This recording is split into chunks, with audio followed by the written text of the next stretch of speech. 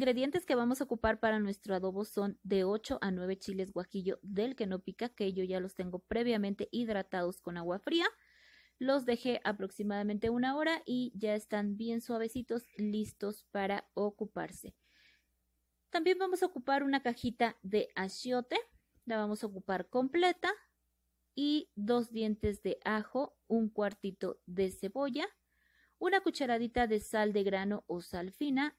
También vamos a ocupar una tapita de vinagre de manzana o vinagre blanco y le vamos a agregar un cuadrito de tomatísimo y cuatro jitomates pequeños. Todo esto lo vamos a moler muy bien con casi nada de agua y lo vamos a colar y lo vamos a reservar en un topercito. Aquí ya tenemos nuestra soya perfectamente hidratada, que si tú no sabes cómo hacerlo, te recuerdo que ya tengo un video, te lo voy a dejar aquí como video sugerido para que pases a verlo. A mí me encanta este tamaño de soya porque se puede confundir con la longaniza, con el suadero o con la carne molida y es ideal para la presentación de nuestro platillo. Aquí tengo una piña natural cortada en cuadritos pequeños, pero la piña yo la compré y la reservé en el refrigerador varios días para que estuviera muy madura y muy jugosa. Vamos a ocupar 600 gramos de longaniza, 3 cuartos de cebolla finamente picada y el toque especial o el ingrediente secreto es una cucharadita cafetera de miel. Vamos a tener todos nuestros ingredientes listos y pues ahora sí nos vamos a la estufa. Con unas gotitas muy muy muy pequeñas de aceite vamos a poner nuestra cebolla. Después de dos minutos, no voy a esperar a que esté transparente, le voy a agregar la piña. No importa que tenga jugo, porque lo que quiero es que se vayan integrando todos los sabores y el juguito de la piña me va a ayudar a darle ese saborcito especial.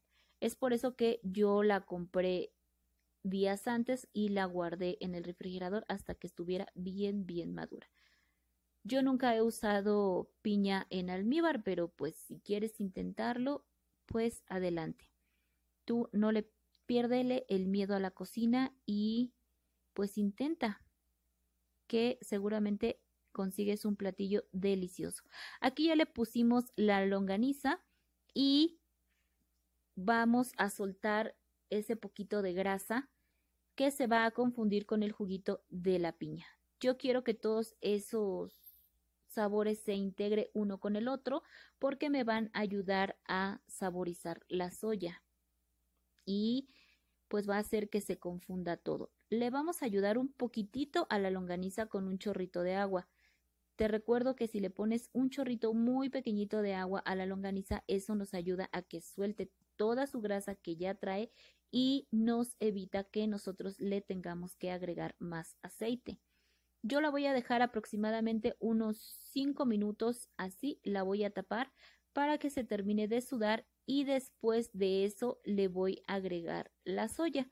Estoy ocupando, aquí le vamos a agregar, perdón, una cucharadita cafetera de miel antes de agregarle la soya y vamos a revolver muy muy bien. La miel nos va a ayudar a proporcionarle ese saborcito agridulce propio del pastor y la verdad es que le da un toque muy muy especial y con una cucharadita cafetera es más que suficiente.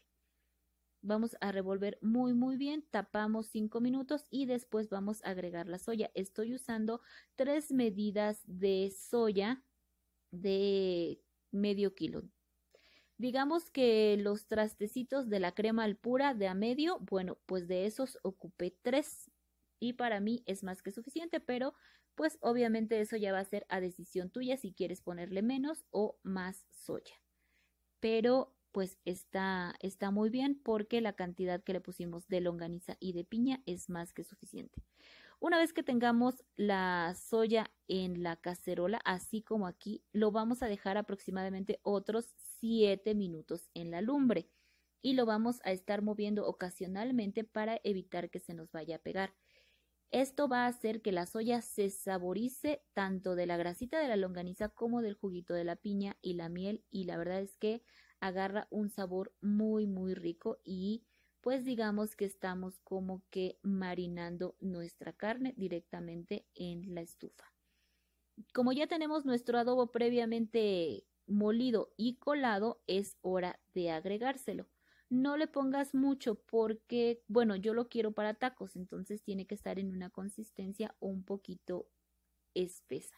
No seca, pero sí espesa.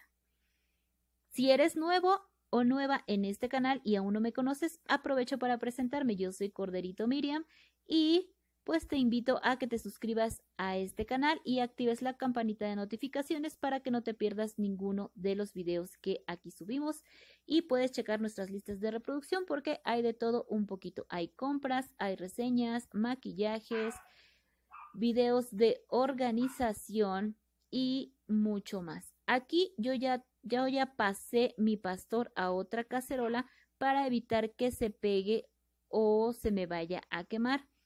Yo lo he estado dejando aproximadamente 15 minutos, se ha ido secando un poquito el adobo y pues ya está. Nada más es cuestión que tú le agregues eh, sal o un poquito de consomé de pollo al gusto y esto está delicioso. Es hora de empezar a emplatar nuestros tacos. Yo hice unos mm, pepinos con habanero que si no sabes cómo prepararlos te voy a dejar aquí arribita el video sugerido donde te enseñé a prepararlos y lo vamos a acompañar pues un taco que se respete con su respectiva salsita. Yo hice verde de árbol y pues la de pepino que también ya te la enseñé a hacer en otro video. La verdad es que yo tuve que hacerte tres salsas distintas porque pues a los integrantes de mi familia les gustan diferentes y como a mí me encanta cocinar, pues ellos hacen su pedido y yo feliz de preparárselas. Te recuerdo que los costos e ingredientes de este platillo te los voy a dejar aquí abajito en la, la caja de información para que pases a revisarla. También ahí están todos los links directos a mis redes sociales para que me sigas y estemos en mayor contacto. También hay un botoncito de miembros por si quieres unirte. Dale una chequetita, abre el link y chécalo sin compromiso. Y si te interesa y si te atraes, pues únete y serás bienvenido. Vamos a preparar dos taquitos de manera diferente. En uno le vamos a poner cebolla y cilantro y le vamos a poner al otro taquito, pues estos deliciosos pepinos con habanero que a mi bebé le encantan y nunca me los perdona. A un taco le vamos a poner salsa verde, que es salsa verde con chile serrano hervida, ¿eh? es una salsita cualquiera. Y al otro le vamos a poner esta rica salsita frita de jitomate con chile de árbol seco. Que si quieres que te enseñe a hacerla, déjame acá abajito pues tus comentarios y yo con mucho gusto. Para terminar de coronar estos ricos y deliciosos tacos, pues no le puede faltar su toque de limón y su espolvoreadita de sal. Ya sabes que déjame acá abajito un comentario con tus dudas que yo te las voy a responder hasta que todo te quede perfectamente claro. Déjame pues peticiones de platillo, comentarios para que podamos mejorar, qué te gusta, qué no te gusta. Cualquier comentario siempre va a ser bien recibido. Y como puedes ver aquí están nuestros tacos, la verdad es que es un platillo sano, es un platillo muy muy económico que yo te invito a que prepares. Si te gustó, por favor regálame un dedito feliz y te recuerdo que si viste este video de forma completa y lo compartes en tus redes sociales y con tus amigos, me ayudas muchísimo a seguir creciendo. Te mando un beso y